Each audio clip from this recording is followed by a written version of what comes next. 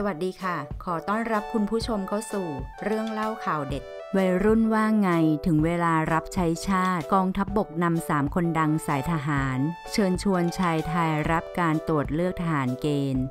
กองทัพบบกฝากกระแสการเมือง ยกเลิกเกณฑ์ทหาร นำสามทหารคนดัง หมอภาค เบิ้ลปทุมราช มิกทองระยะ ออกโปสเตอร์ เชิญชวนชายไทยไปเกณฑ์ทหาร และสมัครใจเป็นทหาร ประจำปี 2562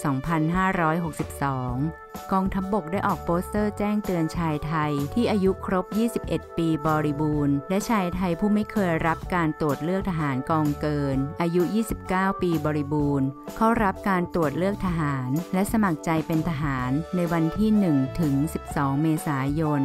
62 ประจำปี 2562 เว้นวันที่ 6 เมษายน ซึ่งเป็นไปตามแผนการประชาสัมพันธ์การตรวจเลือกทหารประจำปีตามปกติทั้งนี้หากสมัครใจหรือไปตามหมายเรียก ซึ่งใครอยากสมัครเป็นทหาร ก็สามารถสมัครในวันตรวจเลือกได้ นอกจากนี้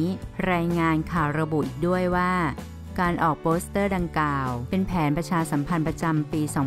2562 ของกองทัพ ก่อนมีการตรวจเลือกทหารเป็นเวลา 1 เดือน เพื่อให้ชายไทยที่เข้าหลักเกณฑ์ ได้มีการเตรียมตัว เตรียมเอกสารเข้ารับการตรวจเลือกซึ่งจะมีโปสเตอร์ติดอยู่ในพื้นที่ สำนักงานเขตทุกอำเภอ และโรงพยาบาลค่าย